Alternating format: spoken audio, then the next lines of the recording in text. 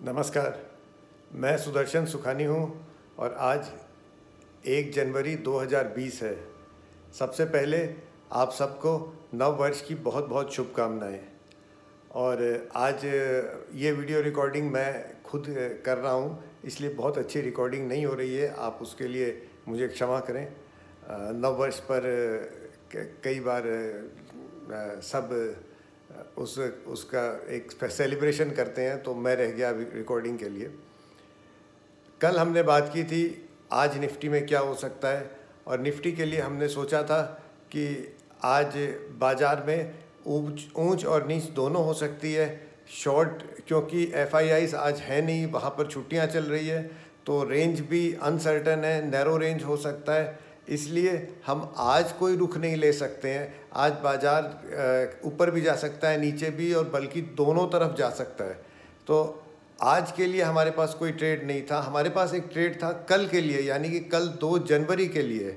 और वैसे हम यहाँ पर सिर्फ़ इंट्राडे ट्रेडिंग की बात करते हैं, लेकिन आज खास करके मैंने आपसे ये कहा था कि अगर कोई बढ़िया डिप आए तो आप डिप पर पोजीशन लॉन्ग करके चलें। दो जनवरी, यानी कल बृहस्पतिवार को शायद इस लॉन्ग पोजीशन में मुनाफा हो सकता है।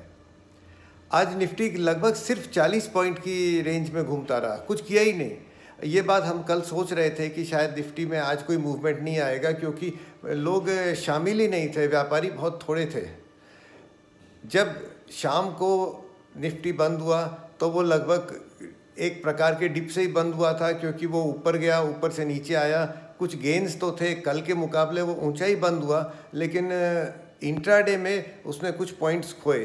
तो आज आप कभी भी एक पोजीशन ले सकते थे, कल के लिए, यानी टुमारो ये काम हम इस वीडियो शो में नहीं करते हैं, क्योंकि हम केवल इंट्राडे ट्रेडिंग की ही बात करना चाहते हैं, लेकिन आज एक एक्सेप्शन था, क्योंकि ऐसा लग रहा है कि आज, कल जब बाज़ार खुलेंगे तो नव वर्ष के बाज़ार प्रायः खुशहाल खुलते हैं विश्व भर में।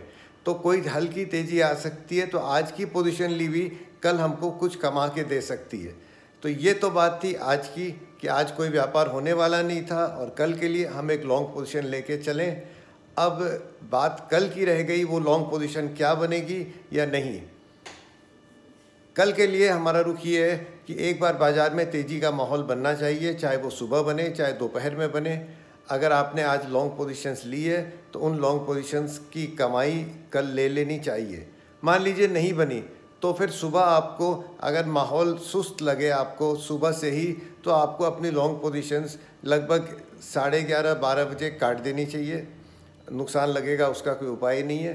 पर मैं ये सोचता हूँ कि कल बाज़ार में थोड़ी थोड़ी हल्की तेज़ी रहनी चाहिए और आज की पोजीशंस की कमाई होगी। अगर आपके पास कोई पोजीशंस नहीं है तो कल सुबह पंद्रह मिनट के हाई के ऊपर आप फिर लॉन्ग कर सकते हैं। ये कल की बात हुई। आ, वैसे भी ये वीडियो थोड़ा गड़बड़ हो रहा होगा थोड़ा शेक भी कर रहा होगा। उसके लिए आप फिर से मैं आपको कहता हूँ क्षमा चाहता हूँ। कल हम फिर मिलेंगे और प्रॉपर वीडियो के साथ भी। आप लोगों सबको नव वर्ष की बहुत बहुत शुभकामनाएँ। धन्यवाद।